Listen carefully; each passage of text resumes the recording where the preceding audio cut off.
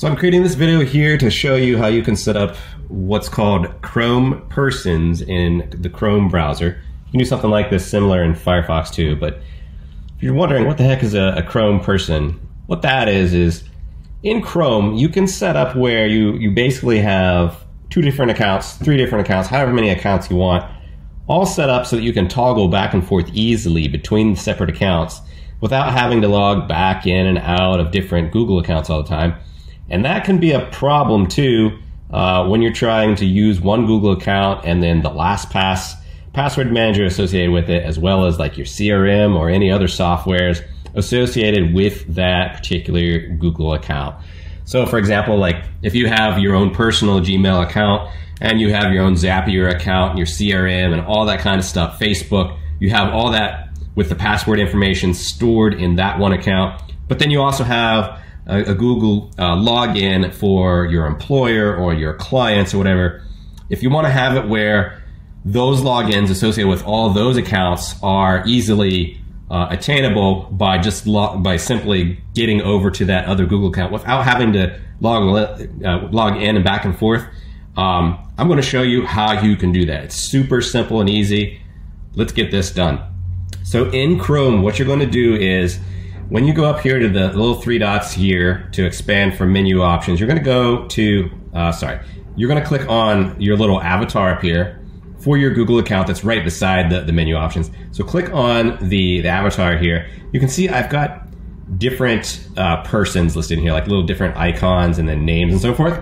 So these are the different like client accounts or my own accounts and so forth. What I'm going to do is I'm going to go ahead and click on add here. So if you've never done this before, you probably only have like one account showing up in here. But I'm going to go ahead and click on add. And then just give this a name. So this would be like my client's account. Uh, this is my inbox that I have for a client's account. So in, Infinity Marketing Group.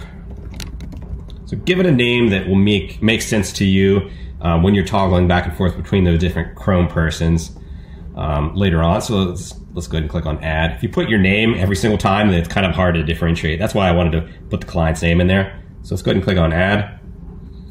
And then you could go ahead and log in here.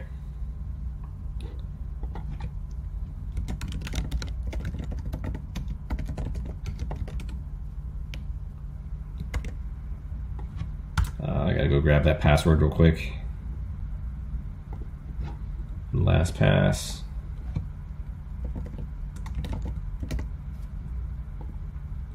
So this pain of having to go get the password, that will be solved here really quickly where I don't have to worry about this now that I've set up this Chrome person once I've logged in here. And then you want to click on link data and then turn on yes I'm in. Then you should be good to go. If you needed to add in any um, bookmarks or anything like that, you could. I already have bookmarks added in for this Google account. Not a lot, just a couple. Um, you could always import your uh, your bookmarks and so forth. You could add in LastPass, all that kind of good stuff. And then uh, this is showing an error just because I have uh, vast antivirus stored on this computer, and I have to just go in here and, and um, either accept or approve that. But basically, now if we go back up here to my little avatar that I have set up for my account, you can see I've now got um, it's going to show up in here if I go and toggle back and forth between these different accounts. So let me just click really quickly into my company's account and then you can see if we go back, see it's, it's just a matter of going in here and getting into these other accounts. So here's that one we just set up, that Infinity Marketing Group client account. So I can quickly go back and forth without having to log back in and out of Google. And then if I had like a Facebook account set up for this or CRM or something like that, I could quickly and easily get in here and I'd have all my uh, login information stored in LastPass. And there's no reason for me to have to log in and out of Google so many times. This is a lifesaver. All right, guys, if you have any questions, let me know.